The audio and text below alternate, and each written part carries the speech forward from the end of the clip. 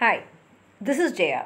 In this video, we shall see what George Yule tells in his book The Study of Language about the origins of language under the heading The Social Interaction Source or Yo-He-Ho Theory.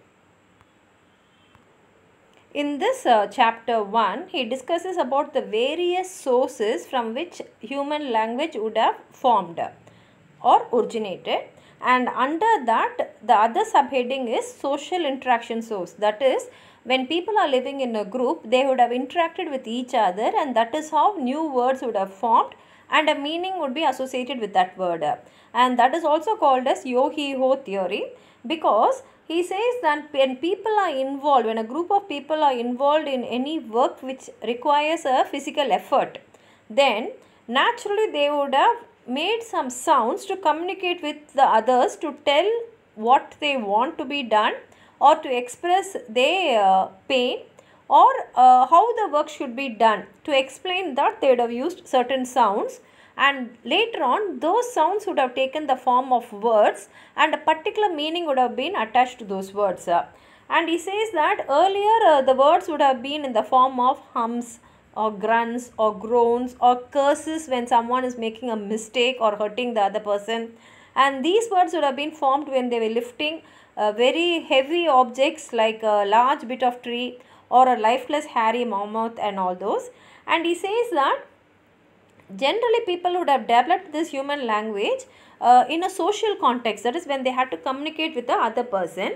And uh, earlier people would have lived in groups and uh, why they lived in groups is to have a protection from attack. And when they're living in groups naturally they have to communicate with each other. And uh, initially that is our earlier ancestors would have used only grunts and curses to express their uh, feelings or to communicate with each other.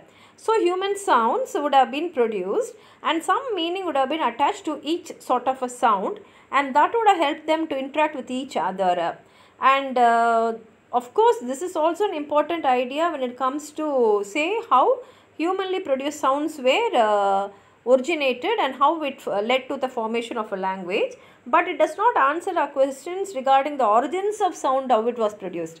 It is difficult to face uh, trace out the origin of each and every word. And at the same time it should be also remembered that even apes and other primitive creatures these uh, creatures also lived in groups and they also used grunts and social calls to communicate but somehow they did not develop the capacity for speech and it was only human beings who developed the capacity to uh, communicate with each other using a language and this is what he says in this uh, subheading.